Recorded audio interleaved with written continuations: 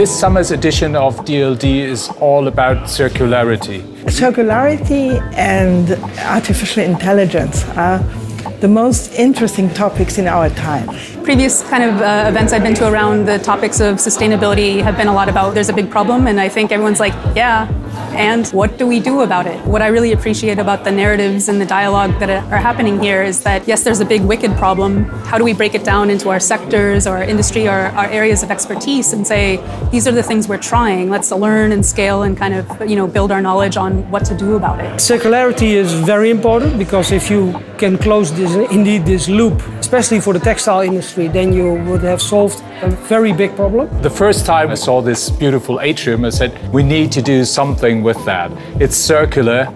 The title of the event is circular, so it really calls for something that takes up that shape. We, as a, as a main sponsor of DLD, were given the opportunity to uh, bring in a branding especially to this place. We have a new material in the range of our materials, which is called, funnily enough, Loop the very special thing about that material that is, is sustainable. Steelcase is involved in that by bringing in like 17 tons of scrap material that is gathered in our uh, plant in Sarrebourg in France. The other component is scraps from plastic bottles, which are transformed into yarn, woven together, and then dyed into different colors.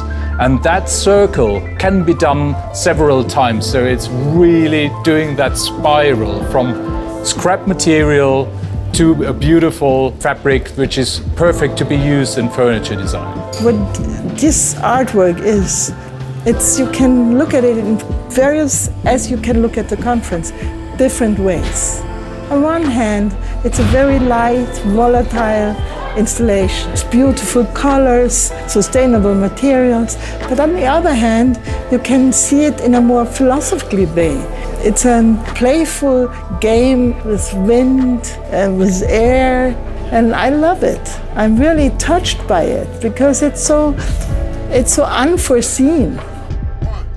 We need artistic interpretations just like this to enable more of us to get involved and also to connect with the heart as well as the head. Order and disorder in one piece um, with recycled textile, um, which is making it very beautiful to me.